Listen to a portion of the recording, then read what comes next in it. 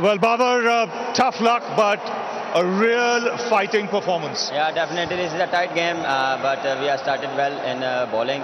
So first in hours, we have uh, our, our bowler is bowled very well, and, and then uh, all credit to uh, Hardik Pandya and Virat Kohli. They have finished the game and uh, shift the momentum in the, for India.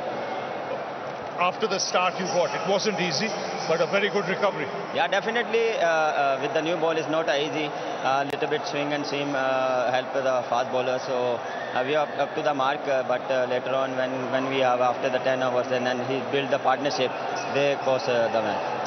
But after 10 overs, you would have thought that uh, you have a great chance of winning. What was the message to the boys? Uh, yeah, definitely we have a, a chance, uh, but uh, uh, but only we have asked the boys to just uh, believe on yourself and uh, stick to our plans and uh, execute our, uh, and give you 100%. But uh, again, I give credit to Virat Kohli to his batting very well.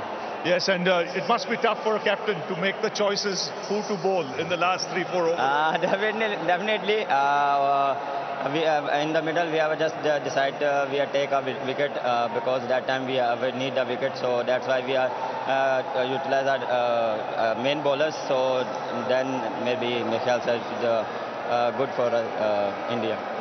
But uh, in spite of the loss, you'll take a lot of positives out of this game. Uh, definitely, we have a lot of positive things, uh, and uh, the way uh, Iftikhar playing and uh, uh, uh, Shan playing uh, until the end and uh, finish the innings, so good for us. Well, tough luck today, Babar, but long way to go in the tournament. Yeah, thank you. Thank Good you so much.